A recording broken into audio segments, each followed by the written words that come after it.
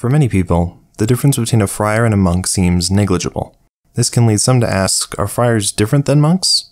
Yes. Friars are members of a movement which came out of the 12th century called the Mendicant Orders, namely the Dominicans and the Franciscans. These orders took a radical approach to poverty, aiming to live their entire lives by begging for what they needed. Their way of life can be seen from their name because of the word mendicant, which means to beg. The mission of friars is different than that of monks because friars see a call to preach and work with the poor in urban environments, which means that friars would establish their friaries in cities.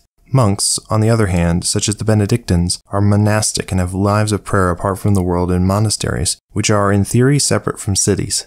This emphasis is not absolute, but understanding the intent and mission of these orders can help differentiate them. At the end of the day, just remember that if they look like this and they belong to either the Dominicans or Franciscans, they're friars who live in friaries, and if they're not a Dominican or a Franciscan, they're probably a monk who lives in a monastery.